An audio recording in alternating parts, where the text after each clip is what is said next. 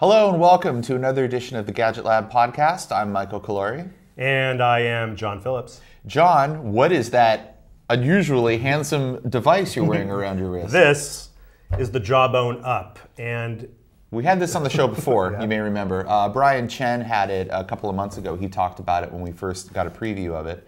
Um, we've gotten a, uh, a test unit, and you're testing it? Right. I am testing it. I put it on last night, and what this thing is, uh, I'm not sure what the industry term for it is, but it's a bracelet, and it it's it's sort of like a uh, like a health health stats monitoring device. Right. It's sort of a, a health and wellness bracelet. So you wear it 24/7. It's completely waterproof, and so I wore it in the shower this morning, and there's a bunch of electronics inside, an accelerometer. Um, and a lot of data acquisition tools, if, for lack of a better term. And it can record how many steps you take during the course of a day. And it has this real cool feature that I, that I did try in depth overnight, where you hit a button right before you go to bed, and then it will track your uh, sort of periods of REM sleep and deep sleep. And mm. uh, the next morning you wake up, you connect this to uh, your iPhone, slips right into the headphone jack it downloads all the data and it tells you how long you slept, how well you slept. Uh, so yeah, it basically it tells you uh, what's going on in the middle of the night and what's going on during the day as far as exercise and the number of steps you take. That's cool. And uh, all the all the data gathering and all the analysis and everything happens within an iPhone app. Right. So it's the Up iPhone app. You download it directly from the App Store. It's free. The bracelet's a hundred bucks, but right. the app is free, right? The app is free, and uh, there's this other other cool feature where your friends could issue you issue you challenges. So you could uh, send me a tweet or whatever sort of uh, messaging the the software uses, and say, "Hey, John, I challenge you to take extra six thousand steps today," which forces me to get out of my Gadget Lab seat, walk around the block a few times, and uh, sort of meet that meet that benchmark. That's cool. Yeah. Um, yeah, so I'm, I'm, really digging it so far. It's sort of competitive with the Fitbit mm. uh, as far as the pedometer functions. It's competitive with the sleep tracker watch as far as the nighttime um, sort of biometric feedback functions. Uh, it hasn't been obtrusive on my wrist so far. People think it looks pretty cool. And actually, it's a great advertisement for the product itself. People walk by, hey, what the hell is that? Yeah. And you could describe it. So There's no bright yellow one, so they won't confuse it with the Livestrong. right. It, it, does come in a few different colors. Yeah. They're all sort of muted. Yeah. It's, it's high tech in a very modern way. So I saw yeah. I saw a demo of this uh, last week, and the thing that I liked about it is the way that it tracks what you eat. Right. You take a picture of everything that you eat, and then uh, a couple of hours later it asks you how do you feel? Right. So you take a picture of your you know uh, carnitas burrito mojado and then a couple hours later it asks you how do you feel? And you tell it terrible. And then it'll you know it'll obviously gather all that and it'll let you know like um, you know that you usually feel terrible after you eat right. Carnitas burrito mojado. The uh, the ios app sort of has this uh, this three pronged timeline that shows that sort of reveals your sleep patterns over a period your uh, exercise patterns and this whole food feedback loop thing mm. that they got going on. You know, the Jawbone sort of concedes that the, the food portion of it isn't as fully developed as the other two, but they say they're in continuing development and that uh, everything should improve. You know, the whole taking pictures of your food thing, uh, it's kind of interesting that it launched this week because also launching this week was a new app from uh, Massive Health, mm-hmm. the startup. Uh, it's called The Eatery. It's an iPhone app where you take pictures of what you eat and then it shows you what your weaknesses are and what times of days you tend to what times of day you tend to eat worse and so have you uh, have you downloaded it and uh, I have it a shot I have yes what have we learned uh, I, I have not really learned much yet because I'm only taking one picture but we'll report right. back later right um, so enough about the up we're going to take a look at some uh, some freaky robotic vacuum cleaners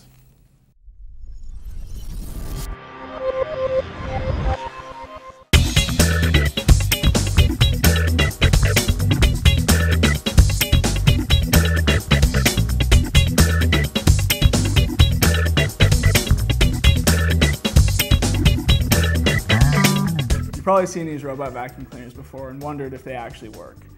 The fact of the matter is, they're not going to compete with a mop, bucket, and some elbow grease. But if you don't have the coin to get it made, and you don't have the time at the end of the day to clean up your house, these make a great alternative. This is the iRobot Roomba. This is the original. It came out back in the early 2000s. Uh, it's got a, all the dirt comes into this container on the back here. bristles underneath here will agitate pretty much any speck of dust or dander that's in your carpet. And this little part right here, it looks like it came off of a street sweeper, goes underneath appliances and around corners to get every little speck off of it. This one will run you between $400 and $600, depending on which model you get. This is the Neato Robotics Home Vacuum Cleaner. This beast is shaped with a flat front to accommodate this big and very noisy scooper right here. It runs you only 400 bucks. It'll agitate just about anything out of the carpet in front of it. It, unlike the other ones, isn't as nimble around corners. So when it hits something, it takes a little longer to get around. This is the LG HomeBot. Probably the winner in the swimsuit category for all of these. This thing has a similar structure to the Roomba.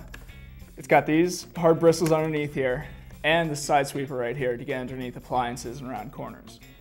It, unlike the other ones, doesn't have a collapsible front.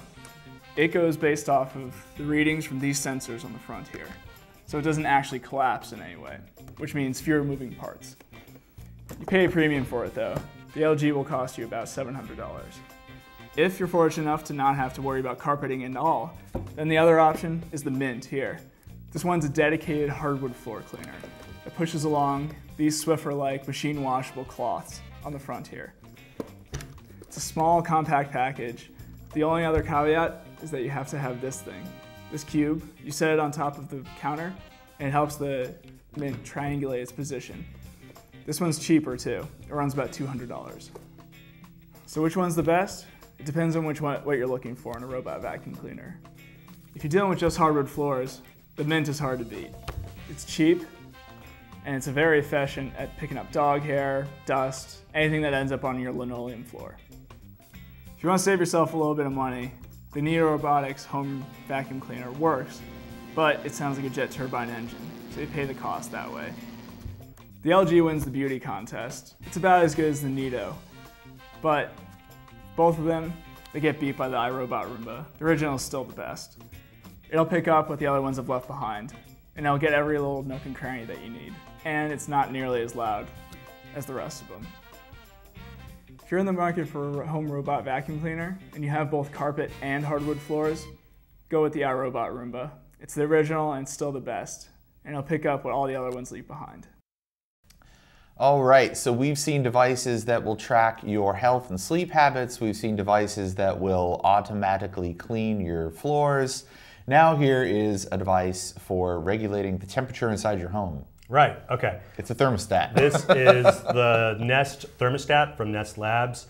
We did a huge story on it a couple of weeks ago, and it essentially is a learning thermostat. So you remove the uh, existing thermostat from your wall, this goes in, plug in the correct wires, and there's a whole big video on Nest.com on how to do this correctly. And if you don't think you can do it yourself because you don't want to turn off the electricity in your house, they will send out a service person to help you. Anyway, you get that installed, you plop this on top, and you set it going. And in effect, what it's supposed to do is learn all your thermostat habits when you like it cold, when you like it hot, uh, when, how you like it in the middle of the night.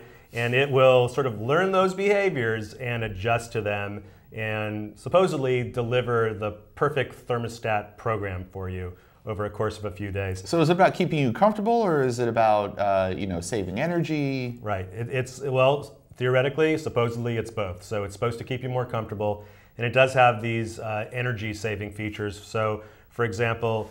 It, uh, the way it's being described is it's sort of like the Toyota Prius, where you could watch your dash display and learn how to sort of modulate the way you use the brakes and the gas to generate more battery power. And so, like that, you can uh, set the thermostat, and when you hit it to a certain point, this little green leaf comes up. The green leaf tells you, hey, you're now saving energy. So it's supposed to sort of train you to be more energy mm, efficient. I see. Sort of like how the Prius tells you now you're running on all electricity and exactly. now you're using gas. And uh, it comes with this curious little gadget. We didn't know exactly what it is. It looks like some kind of eyedropper. See, I thought I thought this was a device for catching your tears because you're crying because you can't believe how beautiful your new thermostat is. But no. Oh, look at that. It's actually, it's the little toolkit that comes with it. So Such a bummer. Yeah, you have everything you need to install this in your wall. So not only did they design the perfect, beautiful thermostat, but they designed a, a more perfect screwdriver. Right. And this was all sort of the creation of the guy who designed the original iPod for Apple. He moved over to Nest Labs, and this is his uh, sort of big new celebrity gadget product. So does it do lossless streaming? it should. You're right. It should. Or I'm just going to attach it to my wrist, and it's going to be my new, you know, fashion accessory for the tech, for the tech cast. Yeah, there's there's an app for that, John. Yeah. Uh, well, you're going to test it out for us and Yes. tell us how it is. That's right. Tell So it installing it this weekend, and we'll give it a whirl. Make sure I spend enough time with it to really get an idea on how it works, whether it's working, how intuitive it is, what the AI is like, and it will appear as a review soon enough. All right. Well, we can't wait for that. And until next time, we'll be back with more gadget news and more cool products to show off. And see you next time.